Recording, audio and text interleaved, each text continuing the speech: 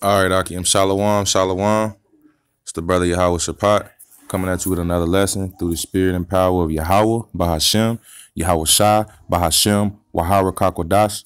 Double honors to my elders and apostles at Great Millstone who do teach and rule well in these scriptures.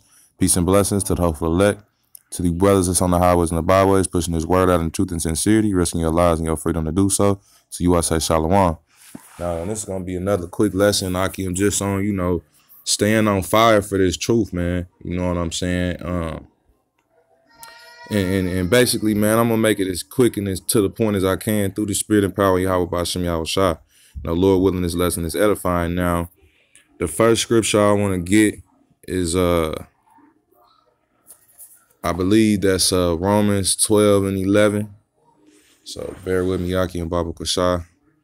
My sword want to kind of, you know, take a little minute to load up. But it ain't no rush. You know, I'm going to get this lesson out. You know what I'm saying? Get it done. Al man. Right on time. So, what's I looking for? I'm looking for Romans 12 and 11. It says, um, this is Romans 12 and 11. Not slothful in business, fervent in spirit, serving the Lord because we're involved in a business. We dealing with Yahweh Bashem Yahweh Shah's money, man. So, you know, when you dealing with somebody else's money, it's just like with anything. You you can't be, you gotta be on point, man. You, you know, you have to be on, on fire about whatever you doing.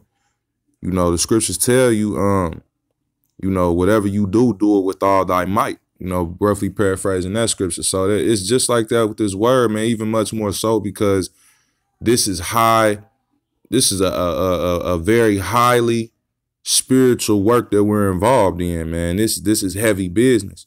And, and it's not nothing to be played with, man. You know what I'm saying? So, bro, you know, just speaking for myself first and foremost, that's why I've been trying to up my input or my output as far as my lessons go. Not to say that I'm any damn body, man. You know, all this is through your how about Bashem Yahweh Shah, but I do it because I got people that's looking at me. I'm a teacher to somebody. Not saying that I'm on the elders or the apostles, the apostles or the other elder brothers level, but I'm on, you know, I'm a leader in my own order, man. And I, and I want to feed the flock, you know, as I've been uh, set in position to do. So the only way you can feed the flock is if you're doing the work, man. You have to do the work. You have to push these videos out, man. No matter what the hell's going on, you know, the work got to get done sometimes you might have certain situations where like I'm kind of dealing with a situation where I'm either having to uh, buy data, you know, or I'm having to um, you know what I'm saying, go to somebody else's house and use their Wi-Fi. So yeah, I can had to run in here with the kids right quick. I got them watching cartoons while I'm doing this. But uh yeah, man, so you know, what regardless though, if you want to do this work, man, Yahweh Bashem Yahweh Shah will make a way, man. It's, it's, you know, he ain't gonna make it hard for you if he see that you trying to do the work, man. The Lord gonna provide a way. But just getting to the definition of fervent, you got to be on fire, man.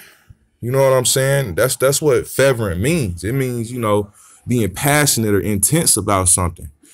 This is the definition for fervent, having or displaying a passionate intensity, hot, burning, or glowing. And then I got another definition for fever. That's where you get the word fever from.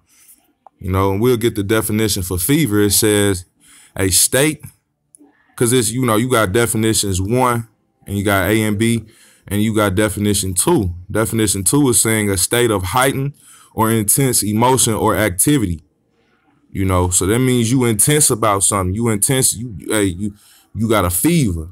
You know, that's why they call it uh what they call it uh, uh you know people say they got baby fever. They having a heightened or intense emotion about you know uh, uh, uh, uh, having a baby, having a child. You know what I'm saying? You know, just just using that as an example, it says a can uh, Definition B, it says a contagious, usually transient enthusiasm. And and we you we you want to have that type of attitude in the truth because you want to provoke. The scriptures tell us to provoke one another unto good works, man. And how do you do that? You had you got to be on fire. You got to have a, a, a, a script uh, uh, teaching fever. I say it like that, man. You want to be on fire for this truth so that you can rub off on other brothers, man, because iron sharpeneth iron. So that one brother, he might be falling short or, you know, whatever brother's going through. If he see you keeping up and, and keeping up the pace, that that's gonna rub, rub off on him. It's gonna be contagious on him. You know, so I got a couple of scriptures I want to grab, man. You know, uh, nothing too. This ain't gonna be too long. Lord willing, you know, Yahweh Shem Yahweh willingness is edifying. You know, the water to the Lord for uh, you know, rest, putting the spirit on me, letting the spirit rest on me to do this lesson, man. You know, because it, it's all about. It's not all about your works, but your works are definitely taken into account you know, and um, you want to, you know what I'm saying? You want to try and abound in the work of the Lord, man. You know, you don't want to just, it's cool. Or you might have, you might be going through something. You like, you know what? Damn, I just barely got my, I got my three videos out.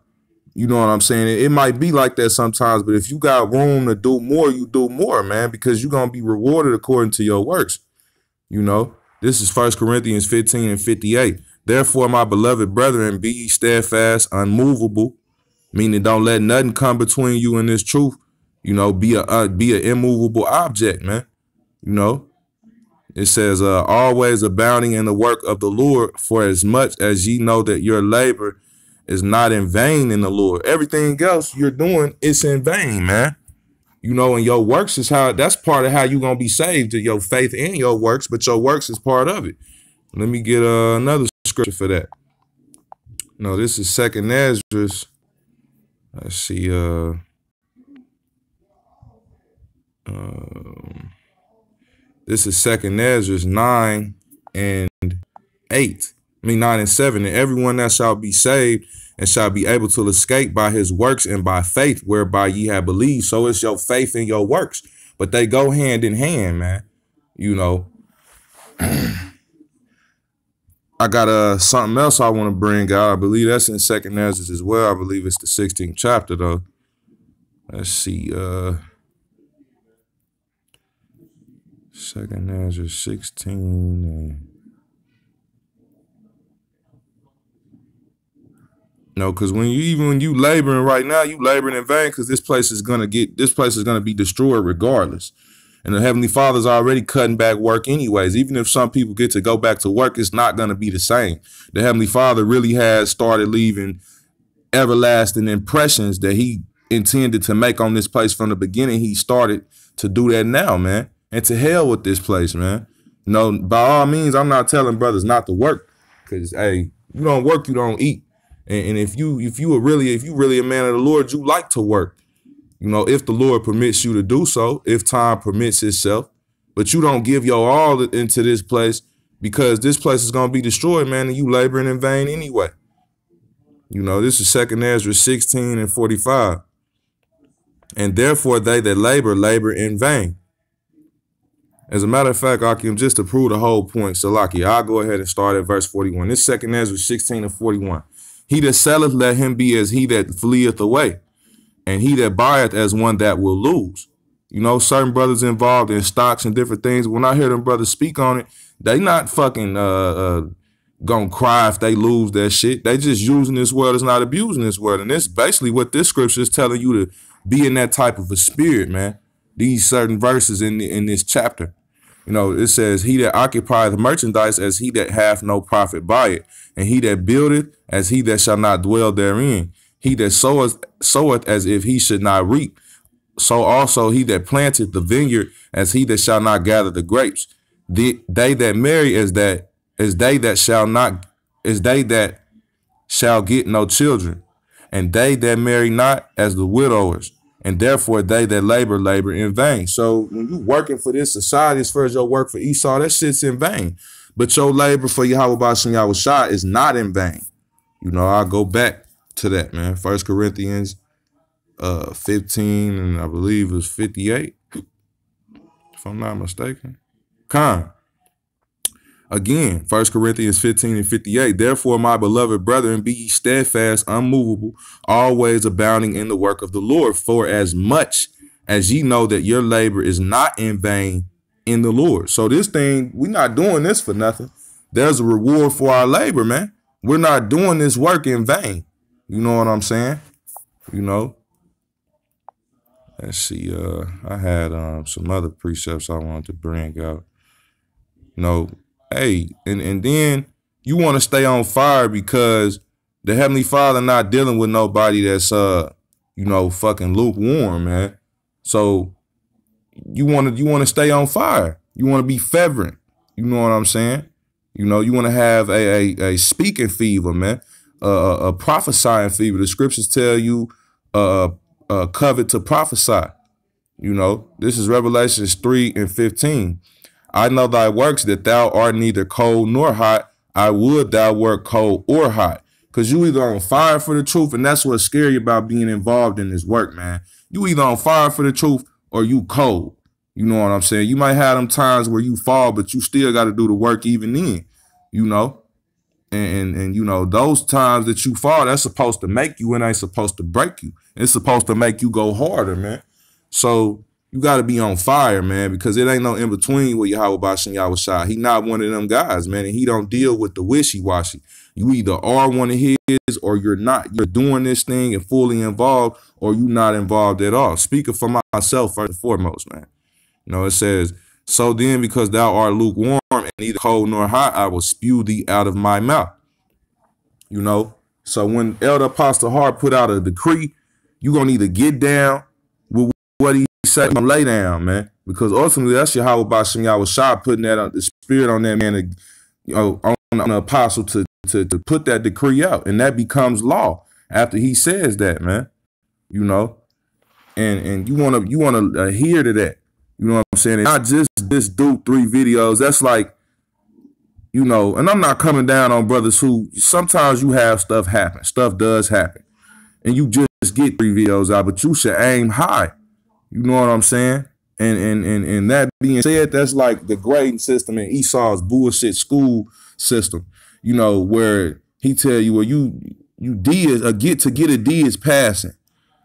Elder Apostle Hart said basically, okay, three three video a week minimum. So you know, if you just trying to get three videos a week out, I'm not saying nothing wrong with that. You know, if you getting them done, that's cool. But you should always aim higher, man.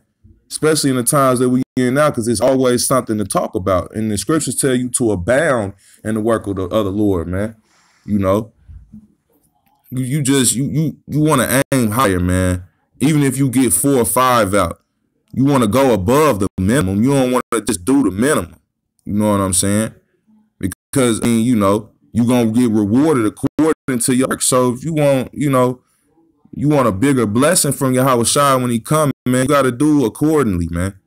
And and hey, if if you ask the Lord to help you in whatever you falling short in, all you gotta do is pray and he he'll add that to you. You know, but that's just like, okay, hey, your parent mad at you, man, because you come home with a damn D or a C and they know that you can do better.